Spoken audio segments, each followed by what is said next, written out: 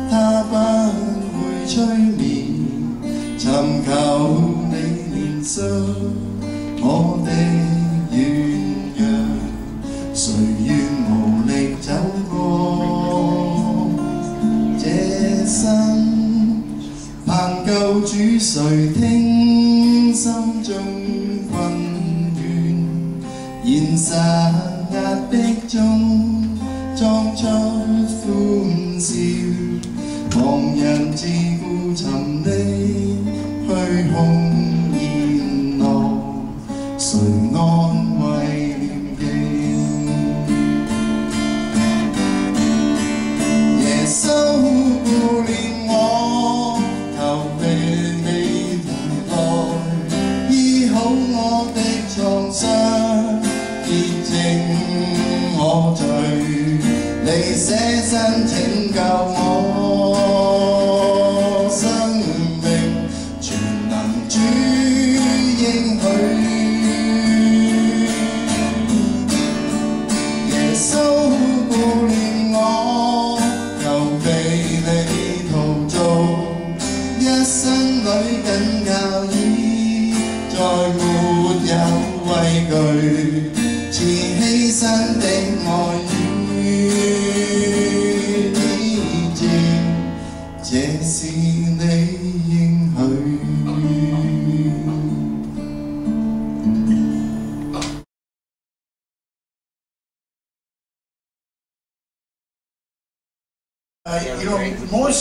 Uh, when I when I ministered here the last visit, when I was here on What's a Christian, I talked about the tension between truth and grace. How many of you remember? You know, there's this tension, and, and when I say tension, there's all kinds of battles that that that believers do. You know, it's uh, you know, when you're not a Christian and you come into a Christian church, it's a little awkward. How many remember not being a Christian? Anybody here? Does anybody remember not being a Christian and going to a Christian church? It's like, wow, that was kind of weird. You know, like I was thinking, you know, if a non-believer came to this service, if you're here today, you might be here, and and you came to this service, and you know, here's a bunch of people that start clapping and singing, and you know, some people are you know praying in the spirit, and you're looking around going, what in the world is that going on? You know, it's, it's kind of an awkward thing. Now, once you become a Christian and you become assimilated into the body of Christ, then it becomes very normal and, and, and, and there's no problems with it. But until then, there's always this kind of awkward thing. And you know, there's different kinds of churches. Yes. Say what? There's different kinds of churches. Some churches are very stoic. I mean, just the fact that you would have drums and guitars and music and keyboards. It's like, is this a nightclub or a church? so very honest, some people were raised in very, okay, now let's pray. Shh. Shh. Shh and it's very quiet and very stoic and, and and so there's all kinds just like there's all kinds of different people. There's all kinds of different christians. And so when i asked the question what is a christian? Last time i was talking about truth and grace and and the mix. We talked about the woman at the well. We talked about matthew the tax collector. We talked about all these sinners that that jesus came to touch and uh, the thief on the cross. We, we talked about all of that. I want to I wanna talk a little bit more on what is a Christian today. And as I share this with you, um, I want to I want to say this is that sometimes some of the meanest people I have ever met have been Christians. I say this very often because I, I, I preach in lots of different churches. And sometimes I go and preach in churches and I leave and I think, I wouldn't go to that church. You know why? Because sometimes churches are filled with mean people. They're, they're just mean. They're, they have they have an attitude. I, I didn't know them. It's like, hi, how, how are you? Okay. Maybe not. I, I don't really know. Now, here at Calvary, this is the thing that you got to understand is that uh, I, I, I, met David and Patricia. Uh, they, they came last week. They're just new into Hong Kong, coming from Canada.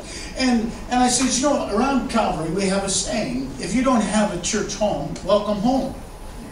See, because home is a place where you let your hair down isn't it? You're all looking at me like, it's where you kick your shoes off and you're comfortable and and and and, and home is home is where you do life. And so so this is kind of a place where we we do life and, and sometimes it's awkward. Sometimes it don't always make sense. See, because a church is a body. And God places people within the body as it pleases Him and in what God wants to do in our midst. But if you was to ask I was to run around here and ask 10 different people or 20 different people, what is a Christian? You know, the amazing thing is, I would get 10 different answers. Well, what's a Christian? If somebody walked up to you on a street and says, Are you a Christian? Some of you would go, uh, well, yes. Some would go, Well, what do you mean? Some would go, well, I, I, I am, but not like them.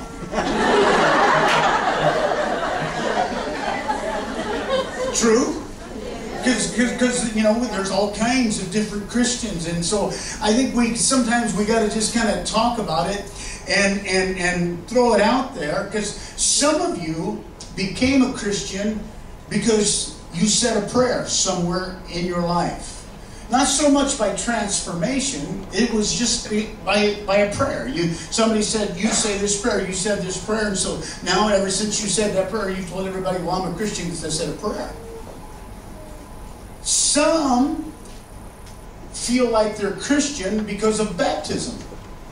When they were a baby, their parents had them baptized in water. So their whole life, they've been telling everybody that they're a member of a church because they were baptized when they were a baby. See, now I'm getting a little sensitive. Now, now you can feel it because a lot of you were baptized as babies. You're okay, now, what, what, what's he talking about? What, what does he mean? Some of you, some of you went through, a, you were a part of a church that at a certain age you went through a thing called confirmation.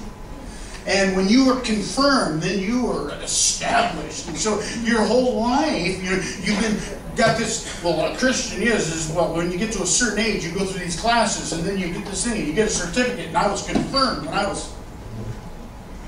And so, well, is it the prayer? Is it the baptism? Is it, is it the confirmation? Well, it could be all, or it could be none of it. What? How can that be? Well, that's what we're going to talk about today. Some of you are taught and uh, or raised in a church that you were you were told that your brand of Christianity was the only correct brand. Whether that was, you know, some people were raised in the Catholic Church. The Catholic Church is the only right church. Some were raised in a Protestant church.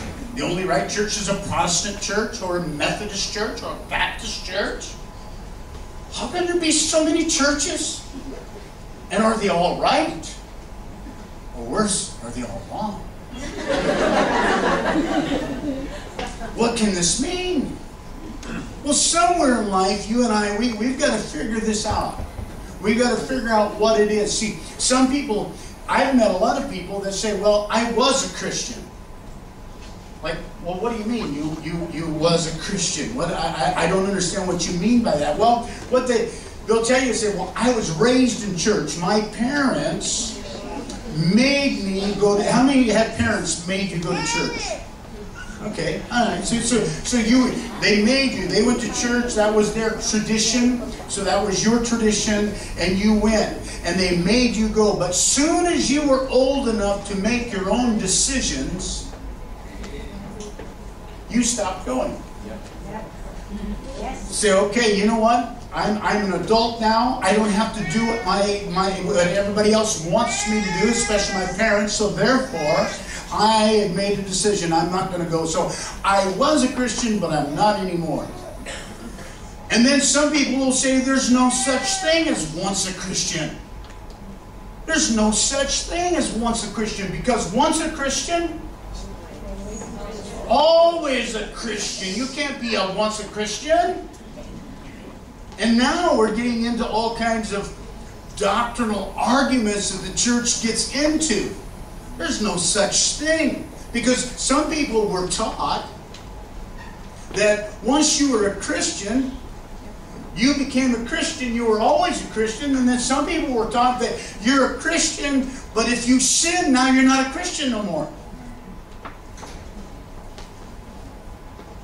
How does that work? Get into heaven? No. Is God holy? Yeah. Does he allow sin next to holiness? No, I don't I don't know. I don't know. See, and and here's where churches get into all kinds of divisions this is where Christians can get into all kinds of arguments, and this is what can stop a church from growing. And see, churches to stay alive need to grow. You got to grow. And to grow means you're reproducing yourself. See, see, when you have a baby and you bring a baby home and that baby's only this tall, you're really happy. Oh, little, little baby. See, but if this baby is now 10 years old and only this tall, you're worried. Because this baby should be evolving, it should be growing, and so this is what churches do. But when churches grow, it's a painful thing. Because, see, when it's small, you're the most important element of it. As it gets larger, then more people are important. And pretty soon, if you're not careful, you can get lost in the mix of it. So, what's a Christian. How many of you remember being 16 years old? For some of you, that's a long stretch, I know. you remember being 16 years old and going out and going out with that person that was not a believer at 16 and doing things that you shouldn't have been doing?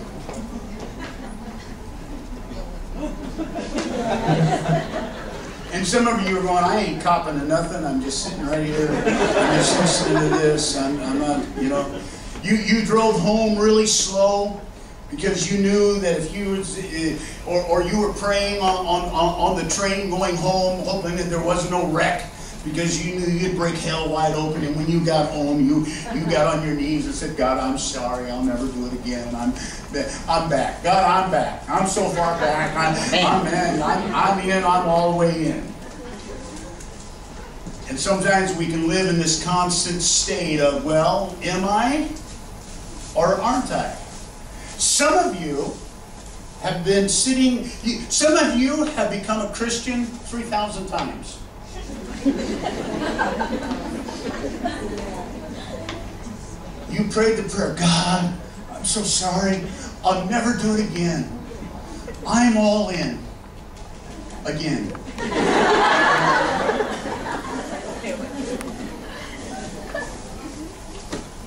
and you know what?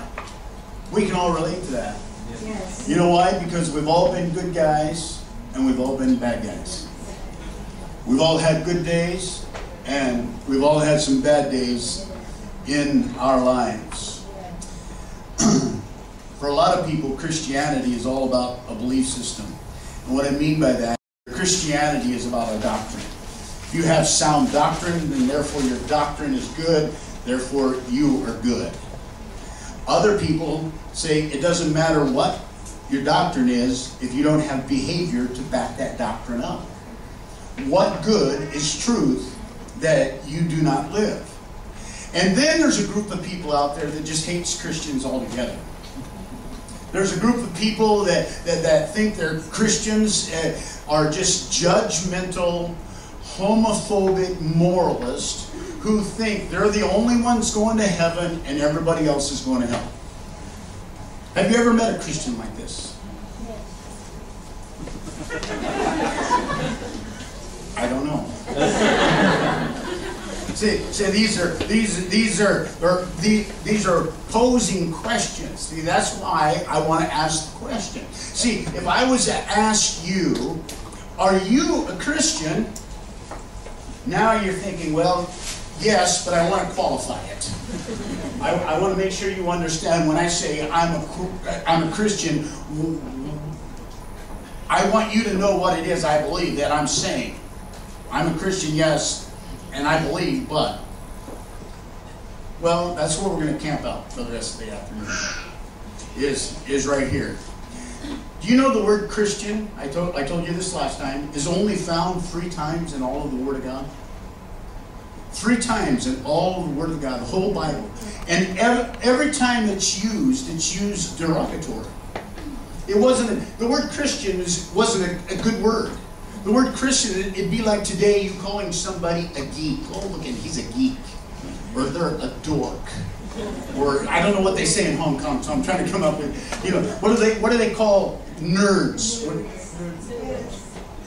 nerds? Yeah, well, that guy's a nerd. You know, they're uncool. They're they're unpopular. You know, he's not a he's not a, not a cool dude. And well, this is what the word Christian really was. It, it was really what happened is is that the word Christian is first found in the book of Acts. Jesus had left. Uh, uh, uh, he had risen, went to be at the right hand of the throne of the Father. Persecution had broke out in, in the church at Jerusalem. It was scattered abroad, and some of them went into what is known today as modern day Turkey, into a city called Antioch and they started telling the believers uh, or the, the, the people that the, the believers that were scattered abroad started telling the people in Antioch what God had done in Jerusalem, how he had raised Jesus from the dead, and many of them begin to believe, and, and the church was being birthed. And the news of this got back to Jerusalem, and they sent Barnabas to go check it out.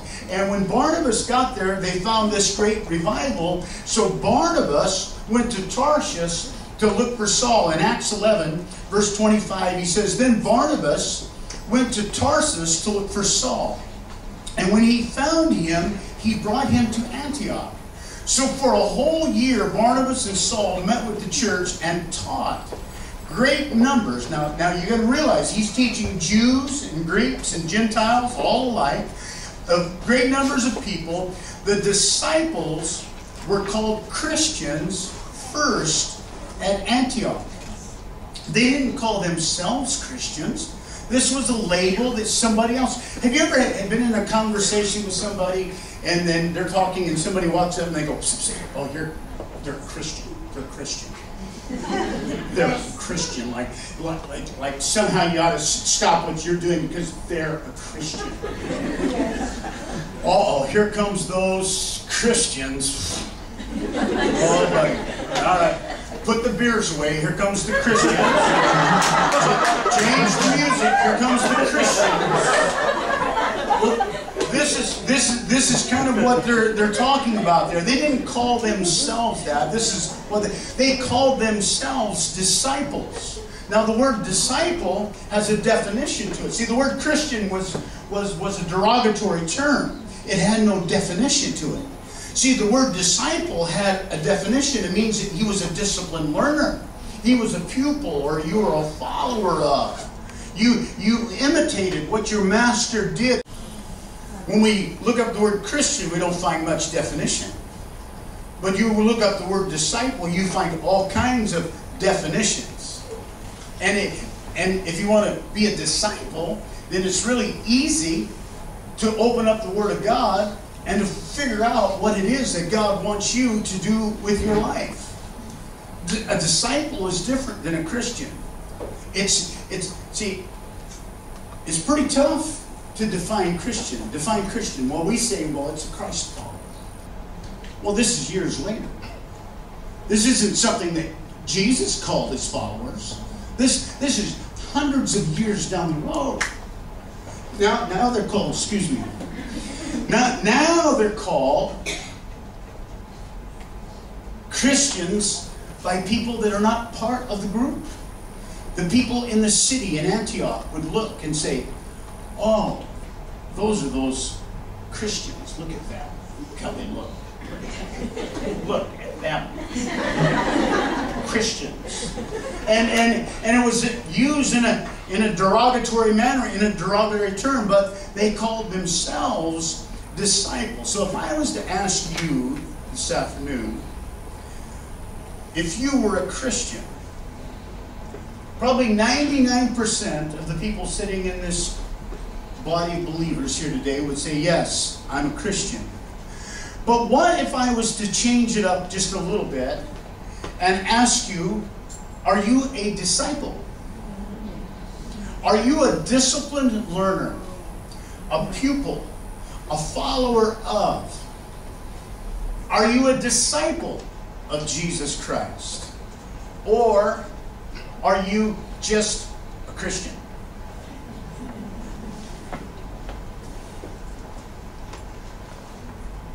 Well, well, wait, wait, wait, wait, a minute, wait a minute, Pastor. I, I mean, I, I, believe.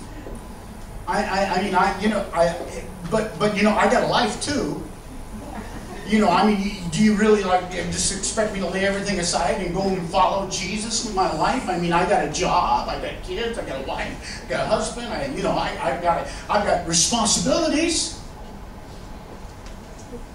right? Let's see what Jesus' last words were before he departed. In John, the 13th chapter, verse 33, he says, My children, I will be with you only a little longer. You will look for me, and just as I told the Jews, so I tell you now, where I am going, you cannot come.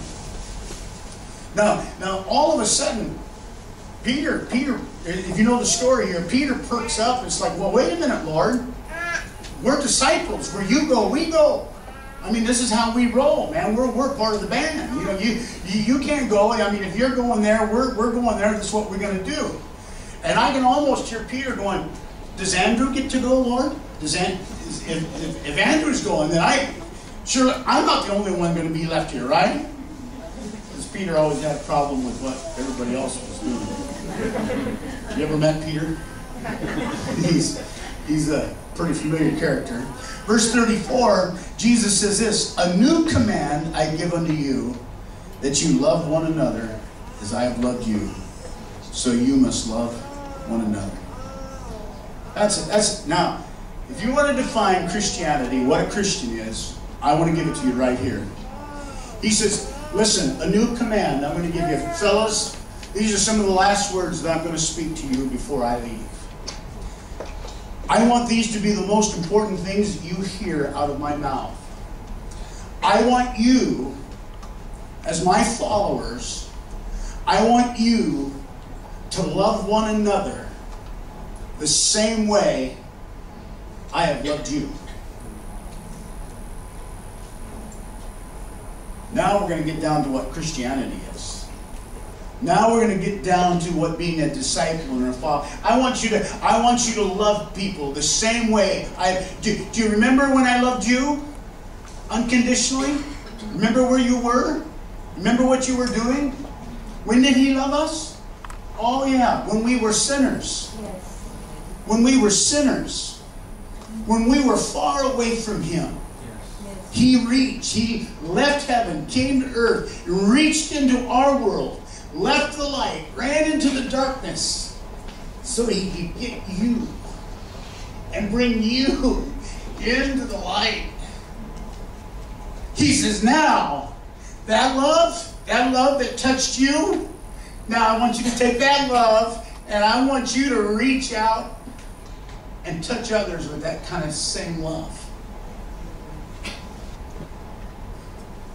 That's a little hard if you're one of those Christians who want to run around judging everybody that's living in sin, isn't it?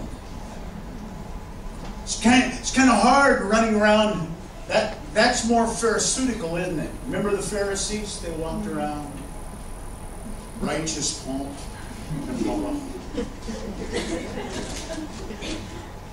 They looked at Jesus and what they say. We talked about it last time I was here. He hangs out with sinners.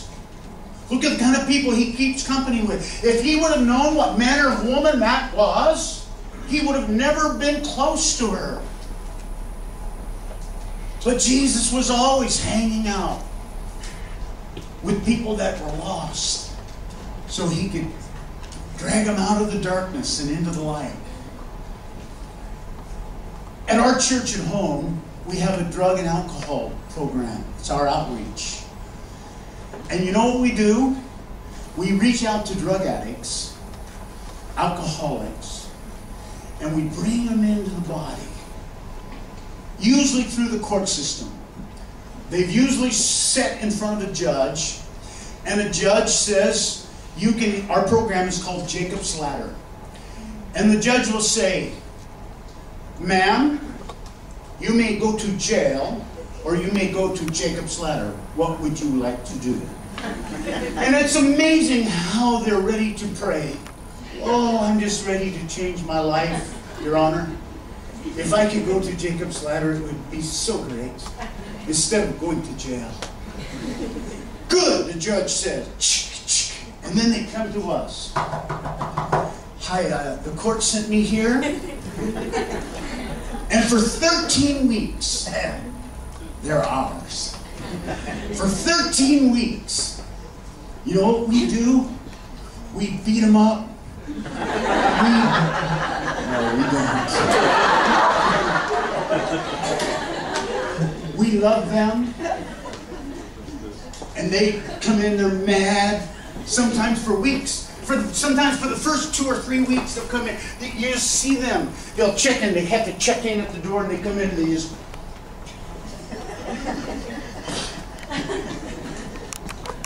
We'll be talking about the love of God and good things God's got for us.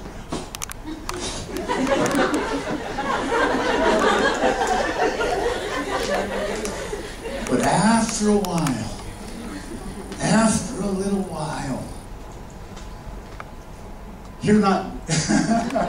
About a month ago, this guy walked in, big hard guy, big muscles, tattoos everywhere, just, you know, mean as a an owl, you know, just mean. you know, it was just, you know, and he'd been coming for about three weeks. And I remember looking at him, and I looked at him, his name's Michael. I says, hey, Michael, it's getting on you, isn't it, buddy? He goes, what do you mean? Just like a hard guy, man. What do you mean? I go, this whole love of God thing is starting to starting to penetrate, isn't it? He goes, man, you're freaking me out. He walked out. He walked outside. I think he went outside, had a cigarette or something, you know. He's walking back in, and I'm looking at him. I'm going, and for 13 weeks they come, and you know what our job is to do? My job is not to judge them. My job is not to beat them up.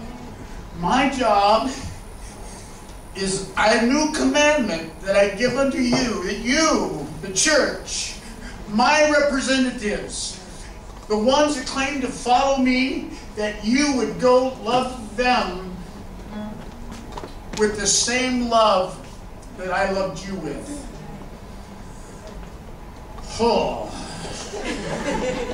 But Lord, look what they're doing. They're sinners. So is you. So is you. I can, I, I can hear him say, Matthew, Matthew, yeah, Levi, the tax collector, Matthew, yeah, you. Yeah. Do you remember where you were when I found you? Yes, Lord. Yes, yes. I was a traitor Jew collecting taxes for the Roman government. That's right. That's right. And I loved you, didn't I? Did I love you? I, I, I invited you to come and follow us and be a part of the family. Yes, Lord, you, you did. And I can picture Jesus going, Peter, you remember how you treated Matthew? oh, come on, Lord, that's not fair. Matthew was a tax collector at the time, right? Peter, you remember how you treated Matthew? Yes, Lord, but I've grown a lot since then. Can you get it? John, John, do you remember where we went after I invited Matthew in? Yes, Lord. We we went to Matthew Matthew's house. And what we do, John, you remember? Well, we met with all of his tax collector friends. doing stuff we shouldn't have been doing, I guess.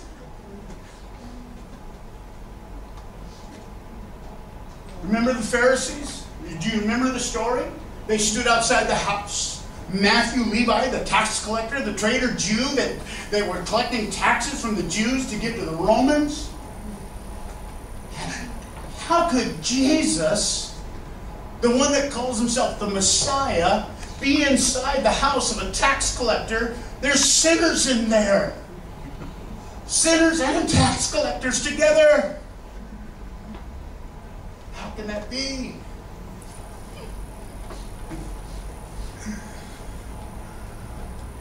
Matthew, you remember the love that I loved you with? Yes, Lord. A new commandment I'm going to give to you. Now, that same love, I want you to go give to others. Sometimes we've been in church too long. Sometimes we meet in these little places called churches. And we think that this is what God wants to do. No, no, no. This is just a celebration of what God wants to do.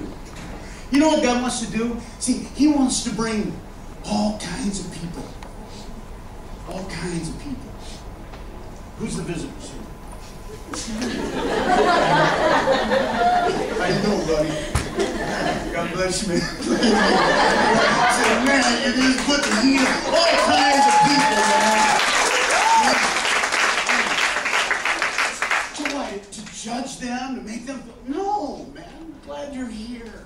Amen. That's not what this is about. This is about a reunion. See, this is about family. This is this is about giving us a chance to show you how much God loves you, how much He cares about your life, what He wants to do on the inside. Don't you understand that? See, that's what Christianity is, is giving away the love that God gave us to give it away to other human beings. Do you know what kind of love that, that, that, that does? Do you know what kind of love it takes to forgive a thief on a cross? The guy's a thief. They didn't hang ordinary thieves. This guy was a habitual criminal. Ordinary thieves, they would just cause them to be slaves. on Roman slave ships and stuff like that. They only hung, crucified, the thieves that were habitual, that like, man, this guy's been stealing stuff his whole life. We're going to have to kill him. And there he is on a cross next to Jesus, and he looks to Jesus. He says, Lord, would you remember me? And Jesus says, Today you'll be with me in paradise. Done. How can that happen? He hasn't been confirmed or baptized. they right. You know what Jesus is wanting them to see? He wanted them to see how much He loved them so they could have a chance, small chance at taking that love and giving it away to somebody else.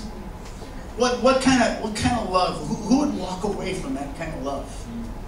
Who could, who could resist that kind of love?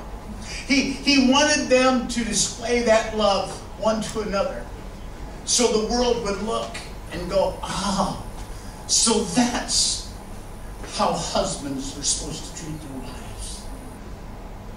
I've never seen that. That's how wives are supposed to treat their husbands. This is how rich people are supposed to treat poor people. This is how this is this is how we treat the widows. This is what we do. It's an opportunity for us to show God's love. And I could go on and on. The story of the prodigal would break every parent's heart. There's not a parent in this place that hasn't felt the sting of a prodigal child. And sometimes we think, well, if I would have been a better parent, if I would have only have got him in Sunday school earlier, if I would have just, you know, not let him hung out with Billy Bob, then it would have been okay. None of those things are true. God was a good parent, and even his kids went bad. See, because we have free will, we have moral agency here. And see, what this does is this, this allows us, and it gives us the opportunity to share with the world something that the world can't imagine. Could you imagine? Can you imagine what would happen in this world? Could you imagine in Hong Kong if people started loving one another the way that God loved us? Could you imagine what would happen in a church if a church starts loving one another unconditionally? I'm going to love you not based on how you treat me, but I'm going to love you based on how He treated me. Amen. I'm going to give away God's love to you. You know what happens? When that happens, churches begin to grow. Because you know what? People can't resist that kind of love. People go, man, you know what? I was a dope fiend, and they loved me. I was strung out, or I was messed up, or I was I was broken. I was I was a psychopath. And they kept loving me. And one day they loved me long enough for that love to penetrate that hard heart line. See, that's what happened to me. They invited me to a church. Do I look like I was raised in church to you? I didn't grow up in church.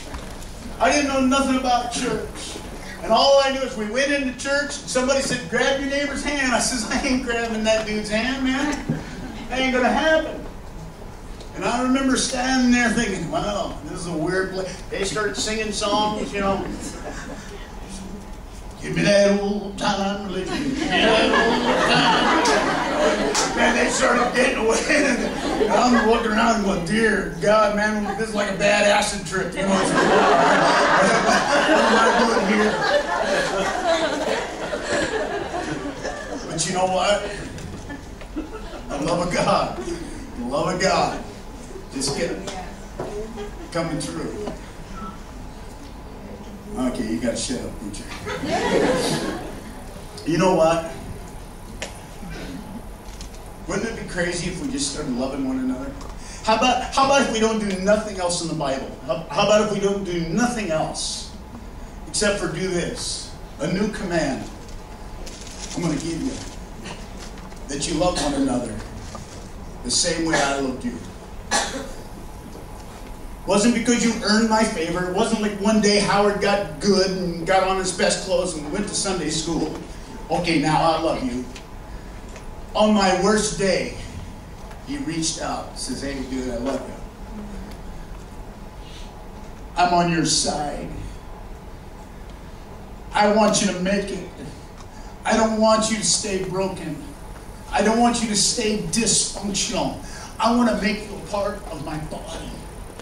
This, this crazy thing called the church, where God gets a preacher inspired with his word, and like every Sunday we come into these little groups, and, he, and the preacher preaches, and as he's preaching, then I, God, the Holy Spirit, begin to work in your heart, and I'll begin to change you. And those things that are broken, I'll begin to heal. I'll begin to fix. Could you imagine how a church could change? Could you imagine how your home would change? Could you imagine if husbands and wives begin to love one another unconditionally? If you're a follower of Jesus this week, I want to challenge you. Let me just close with a challenge. If you're a follower of Jesus, I know your wife is a wreck. I know that your husband's a mess. I know that your teenagers are all spun out. I realize that you know you're surrounded by idiots and, and everybody's an idiot but you. You're the only balanced person you know. I got it. I got it. But what if for the next week you didn't take your cues on how you treated them from how they were acting? How about if you take your cues of how you treat them from God and how He treated you? I want you to love them with the same love that I loved you with. Do you know how radically that will change your home? You know how radically that will change a family? Your future, your destiny. If you're here today and you're not a Christian, I just want to say, I want to I want to say to you, I'm sorry, man.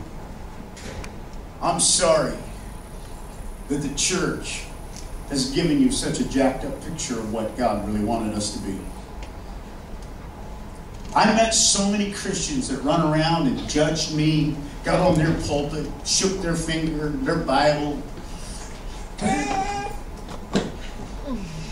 That never moved me. See, for somebody to run up to me and tell me I was on my way to hell, that didn't bother me. I'd usually look at them and say, I hope you didn't have to pray very long about that, because I could have told you that without even praying about it. I knew I was broken. I knew I was messed up.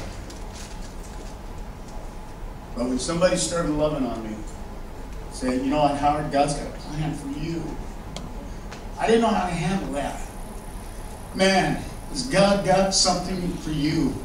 Yeah, you you you know that little hardness that you got that you know you think you're the little hard guy and you're gonna be the little gangster dude. And I'm gonna turn that around. and I'm gonna use that boldness. Something that's gonna change the world. And I just want to say if you're here today and you've got a, a picture or an image of the church that's that I want to say I'm sorry because that's not what the church is. It's never what the church is meant to be. You know what the reality is? Is we're, we're all on, on, on common ground. You know the thing. You know you know the thing that people hate about the church or hate about me. When I say me, it's not me personally. I'm, me as a preacher. Have you ever heard people talk about preachers? Oh, that guy's preaching. You know, preachers, preachers, preachers. All they want is money, money, money, money, money. That's what preachers, preachers is about. That. You, just, just, you, you know what they hate about the church? It's it's. You know what? I'd never go to that. You know why? There's a bunch of hypocrites down there. Hypocrites. I'm telling you, hypocrites. That's why I don't go. Well, there's hypocrites on the planet, and you're not jumping off. the, the question is, is, isn't whether or not there's hypocrites. The real question is, is whether or not you're going to be one. Are you going to be one? Are you going to be a vessel? Are, If that's God, tell him I want to talk. I'm rambling. See, there's something about the church that's powerful, and I'll just close with this. It's, see, as a preacher, I don't want to have to coerce you to give your life to Christ.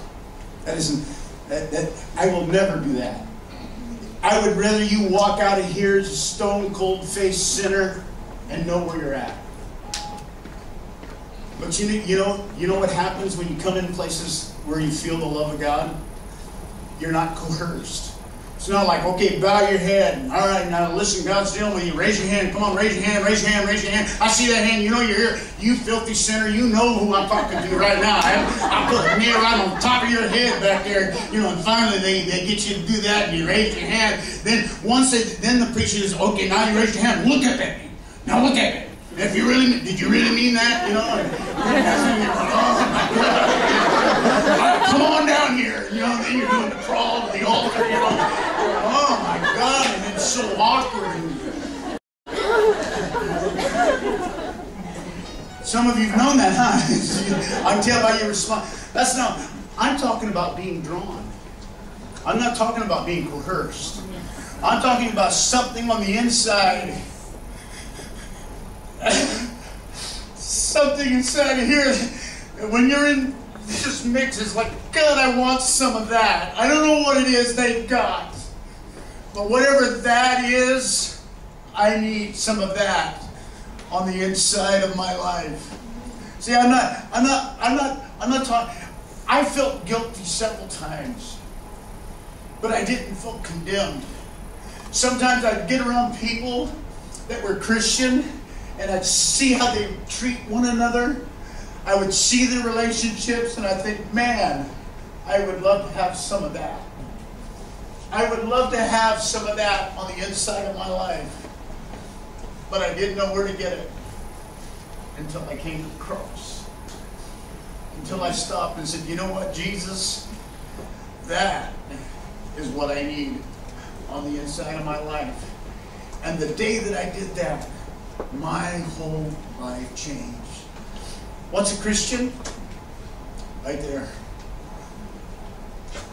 A new command I give to you to do what? And go to church three times a week and read your no. See, we can put all the lists to it. We can put all the lists. He says, begin to love one another. Begin to love one another. It's the same way that I've loved you. And you know what?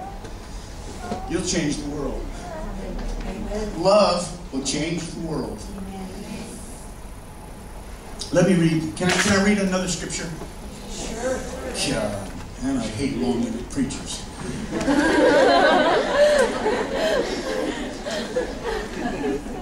What's my last scripture? Yeah, put that up. Dear friends, let us love one another. Now this is John. He's he's not a young man no more.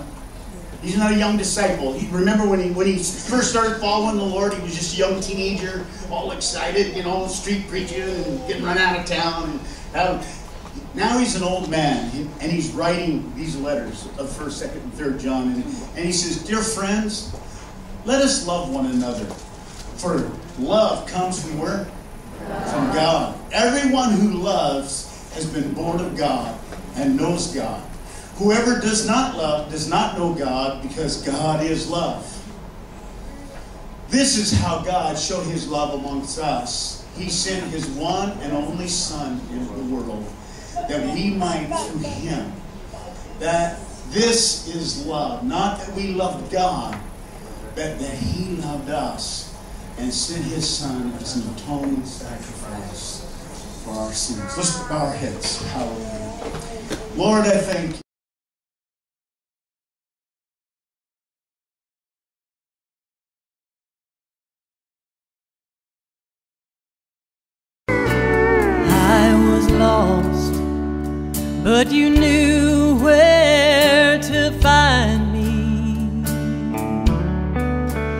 I